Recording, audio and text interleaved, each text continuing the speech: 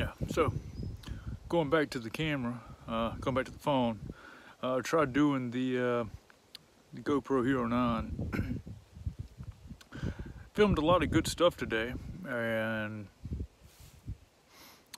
you know, burned up the battery and come up with SD error. So I was like, all right, well, so I rebooted the the uh, phone, and wouldn't you know it, everything I took today is gone. But everything I did in the past know, 20 minutes still there. But you know that's a little disappointing. But uh, I don't know. That's that's a little error I need to figure out, especially when I go um, with JMT. As I got intentions of making some good video, but uh, as of right now, suspect. So we'll see. Uh, that being said, just had dinner. You know, wind blows, it cools off. Then it stops, and then it warms up again. So I don't know. I figured tonight it's gonna be mm, 40s maybe.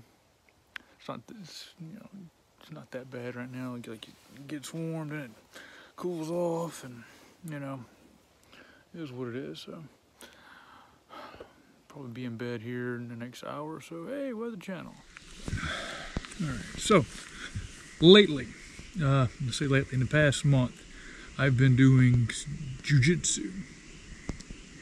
So it's exposing me to some of the um, limitations I have uh, flexibility wise, mobility wise, and how that affects everything. So, over the past um, week, I would say, week 10 days, I've been doing a lot of research on um, uh, extra uh, uh, flexibility, how to become more mobile, how to be more limber.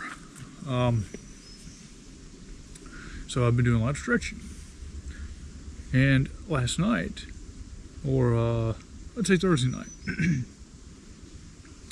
um, I seen something a few weeks ago about this guy, but knees over toes guy. He's on YouTube, and one of the interesting things about knees over toes guy is he's had knee issues in the past and improved his vertical and alleviated a lot of his issues, all of his issues, by improving his flexibility and uh, not necessarily thinking outside the box, but taking old um, information that was readily available um, from uh, different athletic trainers 50, 60 years ago and applying it to today using uh, those old techniques. And I find it very interesting. So,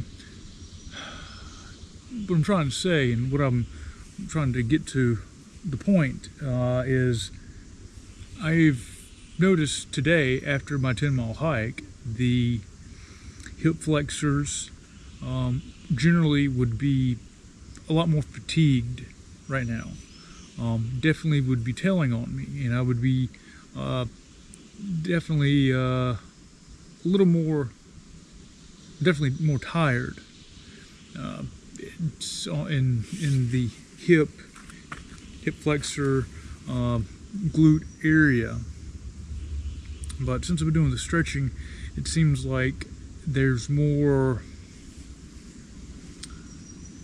a little stronger in those areas, flexibility. And, uh, I'm, I'm curious to see where it goes from here because uh, you know uh, yet last night I started trying to experiment with doing a front split and that was interesting. So there's a guy on YouTube who's doing front splits. He said uh, 30 days of front splits. Like, you can do front split in 30 days.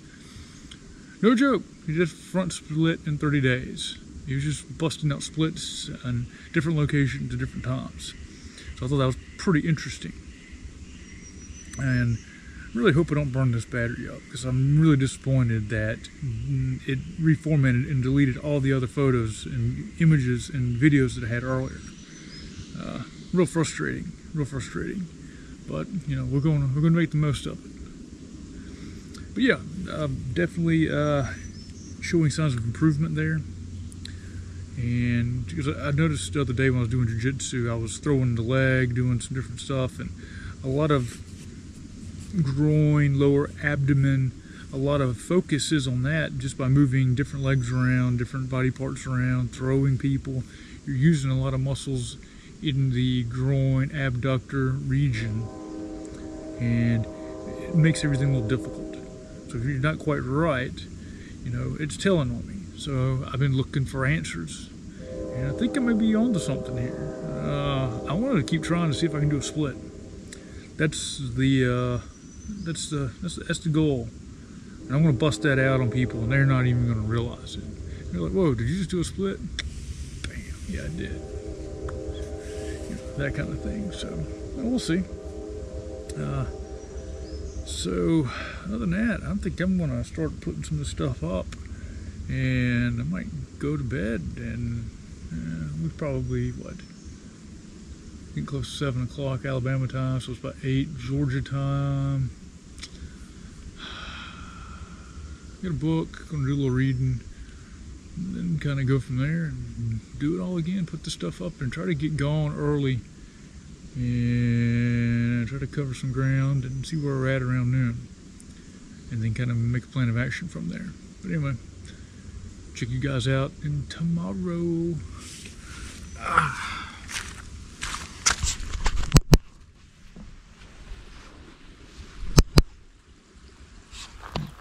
All right. So yesterday, I took a uh, 10 mile hike in uh, the wrong direction that I planned. I went southbound on the Pinhoti instead of going north. Uh, by the time I realized it, I was probably, I don't know, a mile in, maybe more. I was like, huh, okay, I think I took the wrong trailhead. In any event, you know, I got the Guthook guide, and turns out about the same distance as the campsite, and had good flowing water, and you know everything I needed, and terrain wasn't too bad, so I figured I'd keep going in that direction. So, good times, right? Took a lot of video with the new GoPro, and was really impressed with some of the images that I was taking with it, some of the video. And when I got to the campsite, I was recording pitching the tent, recording cooking the meal, and it said uh, formatting error, formatting. So, you know, it said delete to reset or something along those lines. And I hit the delete button and deleted everything I took yesterday, except for the last video that I took for the day. Then the battery died. So we are a little disappointed in that. That was going to be a big deal. I was looking forward to kind of doing something with that. That's fine. So on the way back, uh, there's actually a county road. I'm walking right now, shaved off some miles and get a little better view.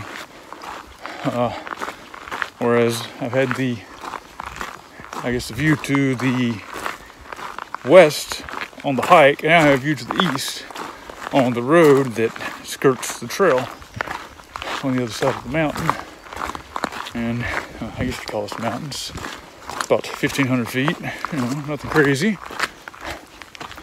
But, you know, Alabama's beautiful. This part of Alabama I've seen parts of it I've never seen before. Um,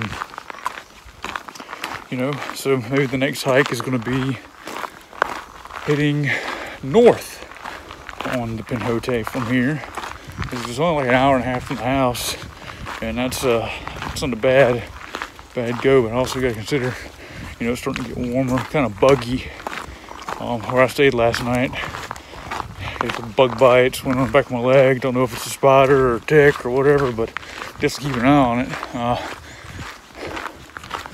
other than that, you know, I'm about two miles from the car, and we're gonna go from there. But hey, just hiking. It's Sunday. Ain't got nowhere to be. Was gonna go to REI in Birmingham from here, and I don't know, smelling pretty ripe right now. I think a shower and maybe a something very high in calorie is on my agenda for the next uh, couple hours. So should be at the car here within the hour and this little adventure be over with. So anyway, Alabama. Yeah, cool. Catch you guys later.